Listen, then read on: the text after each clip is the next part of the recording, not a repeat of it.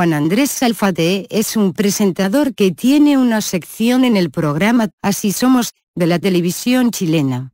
En este programa ha tomado el rol de informador magufo, un personaje que relata a toda velocidad las noticias basura, claramente con la intención de que la gente no le dé tiempo a asimilar la madeja de tonterías que dice.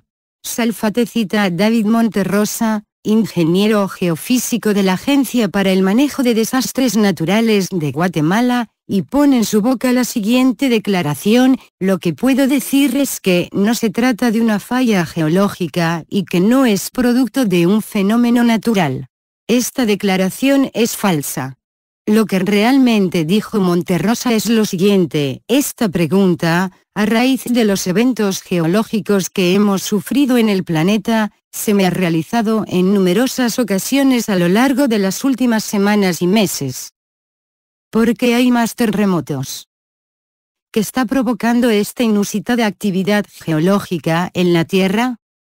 Es la actividad solar, el cambio climático, un cambio geomagnético.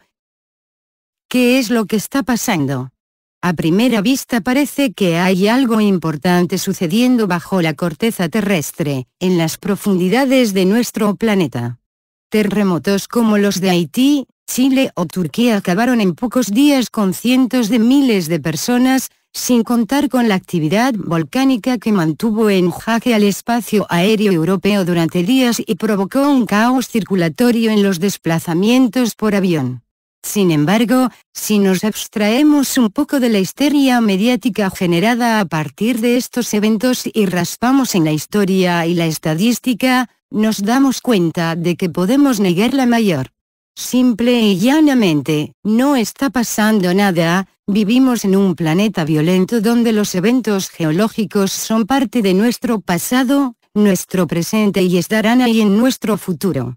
Los números para obtener la información histórica sobre estadísticas de terremotos, acudiremos a la página web del United States Geological Survey National Earthquake Information Center centro que recoge y estudia la información sismológica mundial. Allí, podemos observar la tabla que nos muestra con qué asiduidad se producen terremotos de un cierto rango dentro de la escala Richter a lo largo del año. Nos centraremos en los terremotos de mayor fuerza, 6 o superior, dado que son aquellos susceptibles de causar mayores daños. Para terremotos con un valor de 8 o superior, se estima un valor medio de un terremoto al año, mientras que para valores entre 7 y 7,9 se asciende a 15 eventos al año. Cuando hablamos de terremotos entre 6-6,9 la media anual se dispara hasta los 134. Desde luego, no hay que perder de vista que esto es un valor promedio sujeto a variaciones dentro de un cierto rango. Por ejemplo 2007 tuvo cuatro terremotos de más de 8 grados mientras que hubo varios años en la década de 1990 sin ningún terremoto en este rango. Lo mismo podemos ver en los terremotos de 7-7,9 donde hubo varios años en la década de 1990 con hasta 18 sacudidas, estando el mínimo en 9 en el año 2006. A lo largo de 2010 los valores que tenemos pueden observarse en la tabla anterior para terremotos por encima de 8 grados, este año tenemos uno, el de Chile con un valor de 8,8. Para terremotos en el rango 7-7,9 tenemos 9 en total hasta el momento.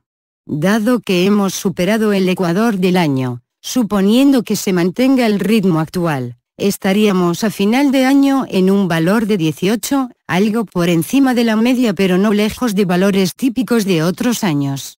Para los seísmos entre 6 y 6,9 el valor es de 91, de la misma forma que antes, la estimación es de 182, este sí, por encima de la media de 134 sobradamente. No obstante debemos señalar que este dato está un poco sesgado debido a que se concentraron muchos terremotos en este rango debido a las réplicas del terremoto chileno y a lo largo del año deberían normalizarse. Este mismo ejercicio realizado con datos de principios de abril, final del primer trimestre, daba unas cifras de 53 terremotos, al multiplicar por 4 ofrecía un valor de 212 para el anual. Vemos cómo con los datos del segundo trimestre la estimación ha descendido hasta los 182. Parece claro que, mirando las cifras, no tenemos un aumento significativo del número de terremotos, ni de su intensidad en lo que lleva de año.